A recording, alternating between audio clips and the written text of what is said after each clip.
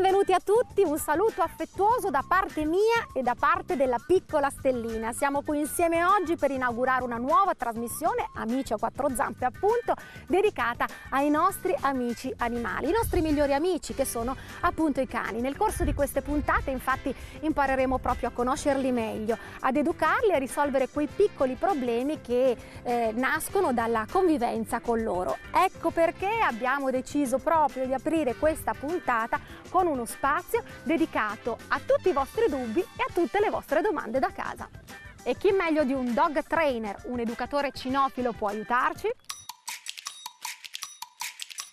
Vi presento Paolo Bosatra. Ciao Paolo. Ciao Chiara e buongiorno a tutti gli amici a casa. E un saluto anche da parte di Stellina. La Stellina è veramente bella, eh? stupenda e dolcissima.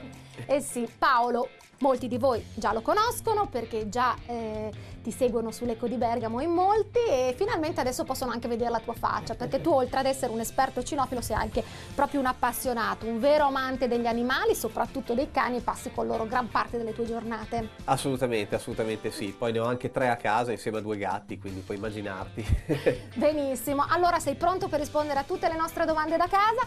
Vediamo subito chi ci ha scritto oggi. Oggi ci scrive Chiara la signora Maria di Dalmine che eh, ci segnala un problemino con la sua bellissima Katie, una bassottina, che proprio non ne vuol sapere di mangiare dalla sua ciotola senza dare fastidio a lei e a tutta la sua famiglia, soprattutto quando, quando sono riuniti a tavola. Beh, eh, Maria, innanzitutto ti dico che eh, la prima cosa da fare con Katie è quella di impostare una corretta leadership e sappiate tutti che la, la leadership inizia sempre dall'educazione al cibo. Io definisco infatti l'educazione alimentare un po' come il primo giorno di scuola della prima elementare dell'educazione del cane. Quindi da qui inizia tutto. Questo perché? Perché il cibo è la risorsa principale di tutti noi, e compreso anche i nostri amici a quattro zampe.